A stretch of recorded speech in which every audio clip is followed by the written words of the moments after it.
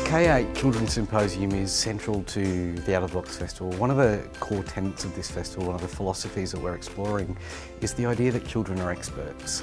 Children will get to present their ideas to big civic leaders and those ideas hopefully will be taken on board in how we plan this city for the future. We've been being architects and we've been building what Brisbane could look like in 20 years. It's important to think about the environment when designing a city so then it's easier to use. You'd have to think about how futuristic it would be and how things would stay the same as well.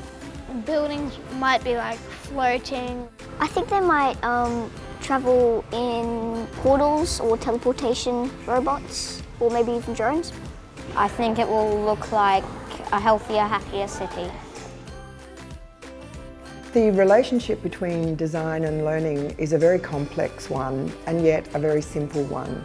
Students have the opportunity to embody the learning and we know when we learn by doing and we have the opportunity to experience the learning process firsthand that it stays with us.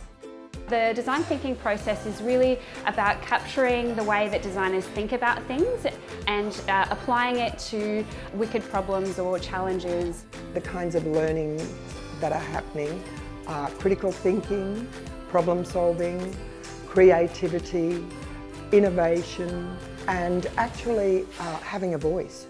It's going to be absolutely vital that we incorporate new technology, new ways of thinking and creativity into cities that are constantly evolving. The only way we can do that is to start thinking about living, working differently. The wonderful thing about young people is that they are completely free from any constraint that society has placed on people like me.